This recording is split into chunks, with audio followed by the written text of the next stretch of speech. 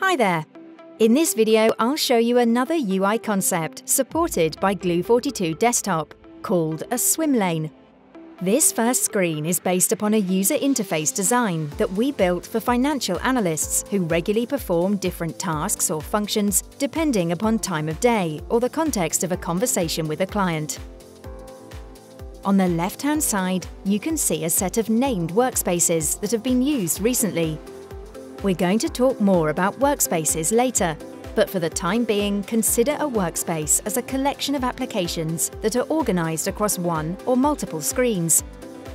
In the middle, a set of workspaces have been recommended according to job role, user performance, or perhaps manager intervention.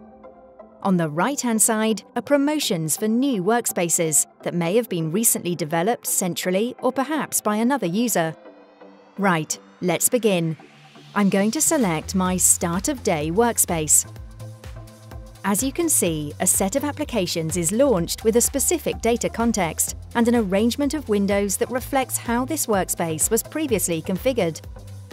All of the applications I need to work with are neatly organised using all of the available real estate on my single desktop.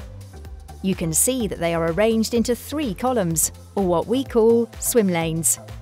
I can resize the swim lanes to achieve the best view for my application set, so that I can see as much or as little of the data as I need for my task. When the size of an application becomes too small, they will be rendered as tiles. This is to remind me that they are still there, but without taking up too much valuable space. I can get the application back again either by resizing or expanding the window to full size.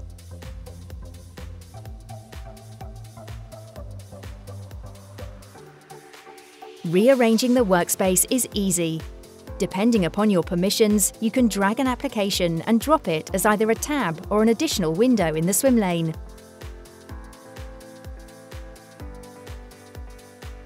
I can detach it and work with it as a separate floating window, on this screen or another. Dragging and dropping a floating window onto a swim lane will make it part of that swim lane. Now, let's quickly create a new workspace. I can launch one of my saved workspaces or create a blank one. Let's start with two horizontal lanes, this time, I'd like to create a workspace with apps that share the same data context. I'll start by adding the Customer View application. Let's add some more customer-related applications. They will all share the same context and will present data for the current customer. In fact, subject to deployment rules, whenever a new customer-related application is deployed, Glue42 will automatically discover it and add it to my list here.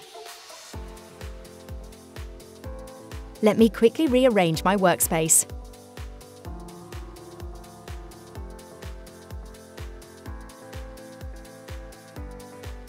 Now it looks much better. Let's search for a different customer. And again, thanks to Glue42, all the applications will get synced in real time. And at any point, I can change my workspace.